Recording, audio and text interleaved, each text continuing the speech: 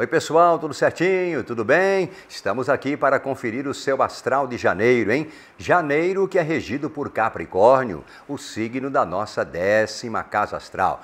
Décima casa astral que tem muito a ver com o trabalho, com a vida profissional, principalmente o trabalho por conta própria, tá? É na décima casa astral que a gente realiza as nossas maiores ambições. E o astral capricorniano é também muito favorável porque estimula a perseverança, a responsabilidade, o compromisso e também a persistência. Então, vamos lá, né? Aproveite aí a pegada capricorniana e corra, lute pelos seus sonhos neste primeiro mês do ano de 2018, beleza?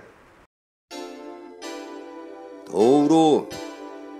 Touro! Olha aí, minha amiga Taurina, meu amigo Taurino, não se esqueça de se inscrever e ativar o sininho para receber notificações. E aproveite também para deixar o seu like, né, o seu gostei aqui embaixo, para que o YouTube continue te mostrando os meus vídeos. Valeu? Amor.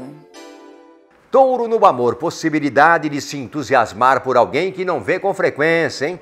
Sua capacidade de atrair e o seu carisma vão brilhar muito na segunda quinzena.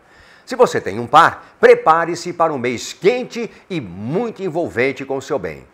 Tudo indica que você vai curtir momentos excitantes na vida sexual. Família e amigos. Visitas de parentes que moram em outras cidades ou contatos com gente distante devem movimentar o astral em família.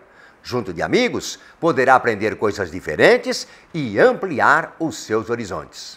Trabalho e dinheiro. Haverá chance de receber um convite de trabalho ou ter a oportunidade de começar uma atividade extra.